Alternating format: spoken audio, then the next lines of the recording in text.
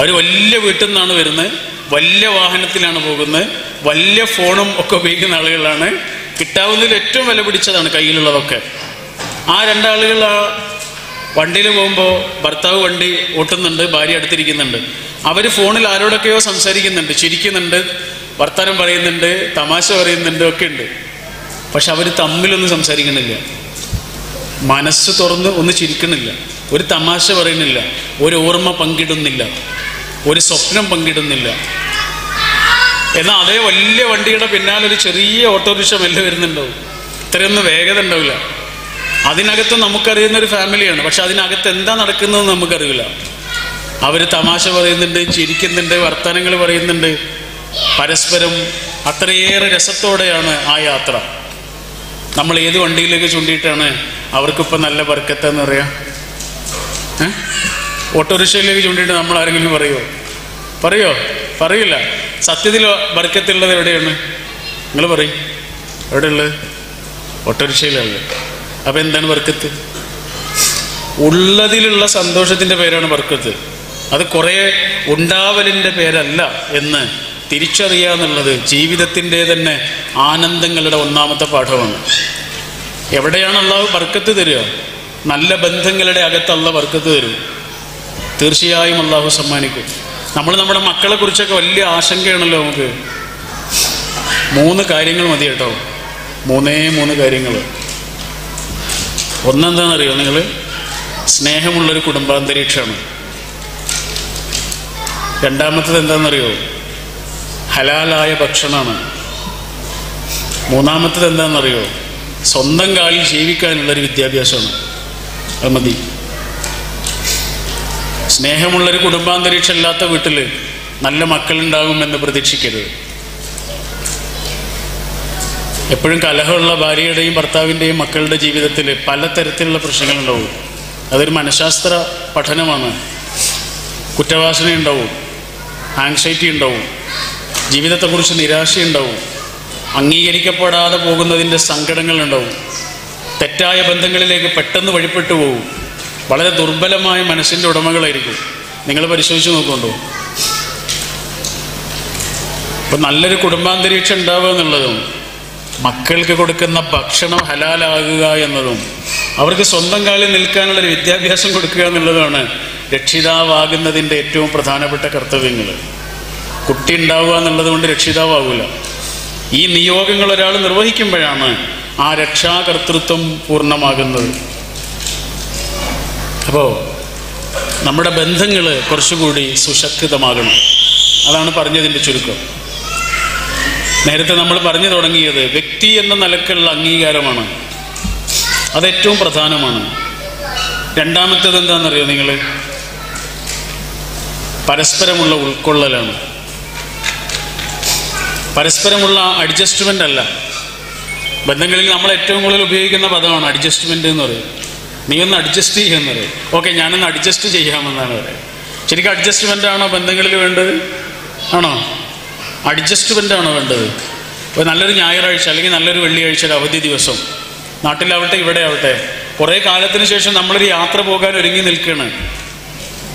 ഭാര്യ സന്തോഷത്തിൽ ഭർത്താവ് സന്തോഷത്തിൽ മക്കൾ എല്ലാവരും സന്തോഷത്തിൽ. അപ്പോഴാണ് ഇദ്ദേഹത്തിന് ഒരു ഫോൺ കോൾ വരുന്നത്. പെട്ടെന്ന് ഓഫീസിലേക്ക് എത്തണം. തീർച്ചയായും അന്നത്തെ യാത്ര നടക്കൂല. എല്ലാവരുടെയും മുഖം മ്ലാനമാകും. സങ്കടം നിറയും. നിരാശ വരും. അപ്പം അദ്ദേഹം വന്നിട്ട് അവളോട് പറയും നീ ഇന്നൊന്ന് അഡ്ജസ്റ്റ് ചെയ്യും. നമുക്ക് വേറൊരു ദിവസം പോകാം. കണ്ണ് നിറഞ്ഞുകൊണ്ട് വേറൊരു നിവൃത്തിയില്ലാത്തതുകൊണ്ട് അവൾ പറയും ഓക്കെ ഞാൻ ഇന്ന് അഡ്ജസ്റ്റ് ചെയ്യാം. എന്ന് പറയും അല്ലേ? ഇതിന്റെ പേര് അഡ്ജസ്റ്റ്മെന്റ് ആണ്. എന്നാൽ അത്തരമൊരു സാഹചര്യത്തിൽ അദ്ദേഹത്തിന്റെ അടുത്തേക്ക് വന്നിട്ട് അവൾ പറയാണ് നിങ്ങളെ കമ്പനിയിൽ നിന്ന് വിളിച്ചതല്ല നിങ്ങൾ ചൊല്ല്. യാത്ര വേറെ ഒരു ദിവസം ആക്കാം നമുക്ക് സങ്കടമുണ്ട്. കുട്ടികളെ പറഞ്ഞ് ഞാൻ മനസ്സിലായിക്കോളാം നിങ്ങൾ പോയി വരൂ. മറ്റൊരു ദിവസത്തേക്ക് യാത്ര തിരിക്കാം. കുട്ടികളെ പറഞ്ഞ് ഞാൻ മനസ്സിലാക്കിക്കൊള്ളാം. ഇത് പറഞ്ഞാൽ എന്താണ്? ഇത് അഡ്ജസ്റ്റ്മെന്റ് ആണോ? ആണോ? ഇത് അണ്ടർസ്റ്റാൻഡിങ് ആണ്. പൗലോ കൊയിലോ എന്ന് പറഞ്ഞൊരു എഴുത്തുകാരനുണ്ട്. അദ്ദേഹത്തിന്റെ സഹീർ എന്ന് പറഞ്ഞൊരു നോവലുണ്ട്. അറബി പദമാണ് ലഹീർ ഭാര്യയുടെയും ഭർത്താവിന്റെയും കഥയാണ്. ഭാര്യ ഒരു യുദ്ധകാര്യ ലേഖികയാണ്. അങ്ങനെ അഫ്ഗാനിസ്ഥാനിലേക്ക് യുദ്ധം റിപ്പോർട്ട് ചെയ്യാൻ പോയ ആളാണ്. ഭാര്യയെ കാണാനില്ല. അങ്ങനെ ഭാര്യയെ തേടിയിട്ട് ഇദ്ദേഹം യാത്ര പോവാണ്. എവിടെ തെരഞ്ഞിട്ടും കിട്ടുന്നില്ല. അവസാനം കസാക്കിസ്ഥാന്റെ മലമടക്കുകളിൽ ഇരുന്നിട്ട് ആരോടെന്നില്ലാതെ ഇദ്ദേഹം ഉറക്കം വിളിച്ചു പറയുന്നുണ്ട് എന്റെ എസ്തർ നീ എവിടെ പോയാലും നിന്നെ ഞാൻ തേടി വരും. നീ എവിടെ പോയാലും നിന്നെ ഞാൻ തേടി വരും. എന്താ കാരണം? എന്നെ ഈ ലോകത്ത് ഏറ്റവും കൂടുതൽ സ്നേഹിച്ചത് നീ ആയതുകൊണ്ടല്ല. പിന്നെയോ? എന്നെ ഏറ്റവും കൂടുതൽ മനസ്സിലാക്കിയത് നീ ആയതുകൊണ്ട്. മനസ്സിലാക്കുന്ന ഒരാളാണ് ജീവിതത്തിൽ ഏറ്റവും വലിയ ആനന്ദം. അങ്ങനെ ഒരൊറ്റ ആളുണ്ടായിരുന്നു ഒരുപാട് ആൾക്കാരൊന്നും വേണ്ട. അഗാധമായി നമ്മളെ സ്നേഹിക്കുവാനും അത്രയേറെ നമ്മളെ മനസ്സിലാക്കാനും ഒരൊറ്റ മനുഷ്യൻ ഉണ്ടായാൽ മതി. നമ്മൾ അന്തസ്സോടുകൂടി ജീവിക്കും. നമ്മുടെ വീട് സ്വർഗമാകണോ നരകമാകണോ എന്ന് നമുക്ക് തീരുമാനിക്കാം.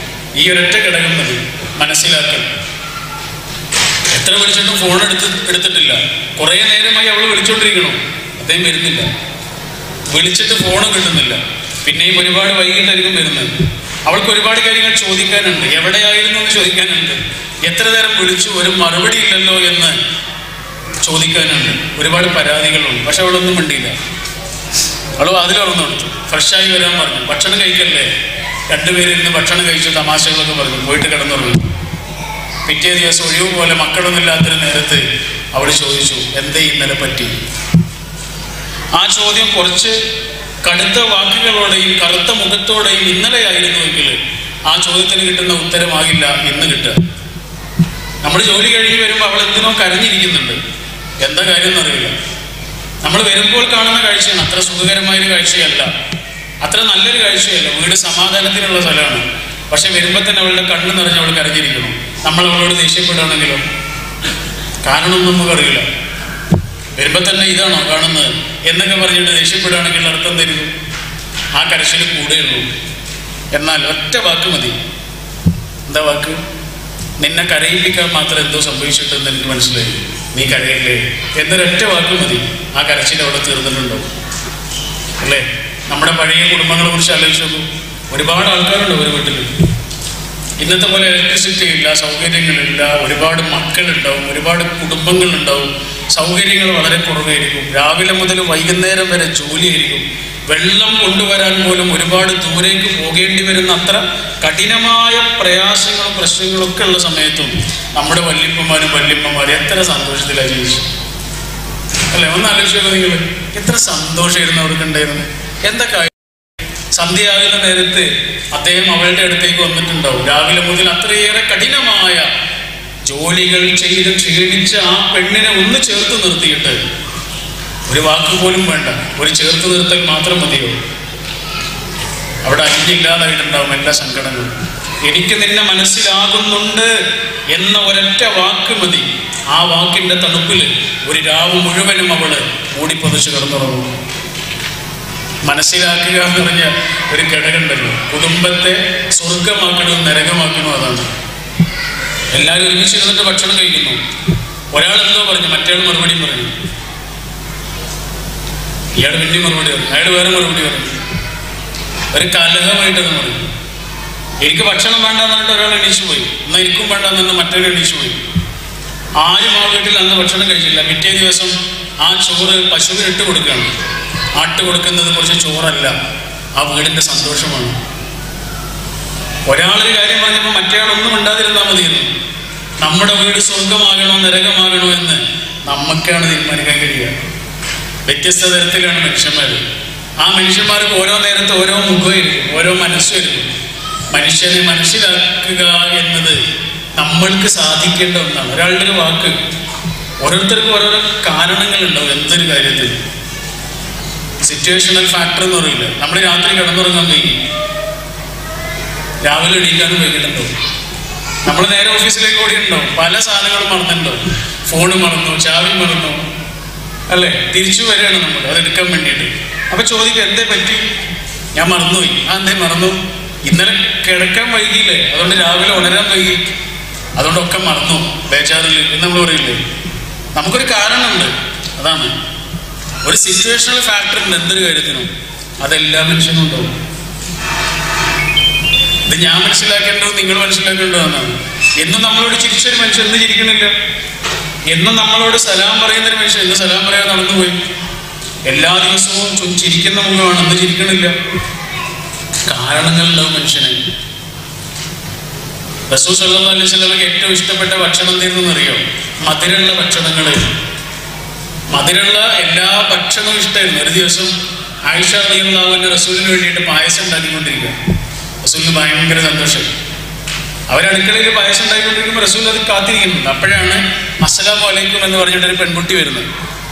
ഒരു സഹാബി പെൺകുട്ടിയാണ് റസൂൽ ചോദിച്ചു സലാം മടക്കിയിട്ട് കുട്ടിയെ സ്വീകരിച്ചപ്പോൾ കുട്ടിയുടെ കയ്യിൽ ഒരു മൺപാത്രമുണ്ട്. അവർ റസൂൽ ചോദിച്ചിട്ട് എന്താണ് മോളെ? അപ്പോൾ ആ കുട്ടി പറഞ്ഞു ഇത് എന്റെ കയ്യിൽ സൗദാവുമ്മ തന്നതാണ്. ആണോ? റസൂലിന്റെ മറ്റൊരു ഇണ നമ്മുടെ മറ്റൊരു ഉമ്മ. പായസമാണ് അതിന്റെ അകത്ത് നിന്ന്. റസൂലിന് സന്തോഷം കൂടി കാരണം രണ്ട് തരം പായസം കിട്ടുകയാണ്. അപ്പോഴാണ് അടുക്കളയിൽ നിന്ന് ആയിഷ വന്നിട്ട് ചോദിച്ചു എന്താ റസൂൽ എന്താ മോളെ എന്താ പത്രത്തിൽ? റസൂൽ ഒരു സുഹൃത്ത് കൊടുത്ത പായസമാണ് ആയിഷ. നമുക്കാണെങ്കിൽ ഇഷ്ടപ്പെട്ടു. ഇല്ലല്ലോ?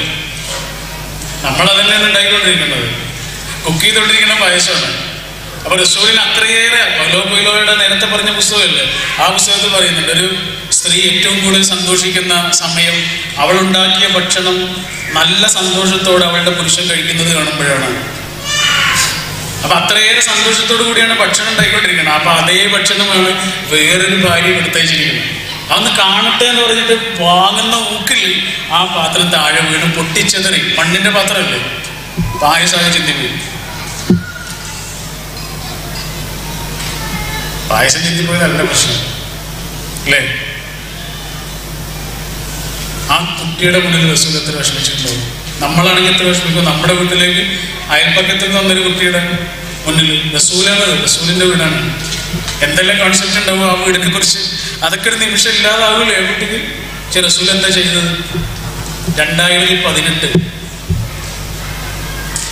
ഏപ്രിൽ മാസം ഇരുപത്തി മൂന്നിന് ഈ ഓഡിറ്റോറിയത്തിന്റെ ഉള്ളിൽ വെച്ച് ആയിരത്തഞ്ഞൂറോളം കൊല്ലങ്ങൾക്കപ്പുറത്ത് മദീന പള്ളിയുടെ ഓരത്തെ ഒരു കുഞ്ഞു വീട്ടിൽ നടന്ന സംഭവം നമ്മളിങ്ങനെ പറയാൻ കാരണം എന്താണ്? എന്താണ്? അതിനകത്തൊരു മാതൃക എന്നുള്ളതാണ് എന്താണ് ആ മാതൃക എന്നറിയോ റസൂൽ അപ്പുറത്തേക്ക് പോയിട്ട് വേറെ പാത്രം എടുത്ത് കൊണ്ടുവന്ന് അയാൾക്ക് ഈ പായസം ഇങ്ങനെ ചിന്തി ചിന്തിപ്പോയ പായസം കൈകൊണ്ട് കോരി എടുത്തിട്ട് പാത്രത്തിലേക്ക് ഒഴിക്കുമ്പോൾ ആ കുട്ടിയോട് പറഞ്ഞു മോളൊന്നും വിചാരിക്കരുത് കേട്ടോ. മക്കളുടെ അബദ്ധം പറ്റിയതാണ്. ഇതെന്താണ്? അഡ്ജസ്റ്റ്മെന്റ് ആണോ? ആണോ? അണ്ടർസ്റ്റാൻഡിങ് ആണ്? കുറേ മുമ്പ് വായിച്ച ഒരു ഇംഗ്ലീഷ് സ്റ്റോറി ഓർമ്മയുണ്ട്.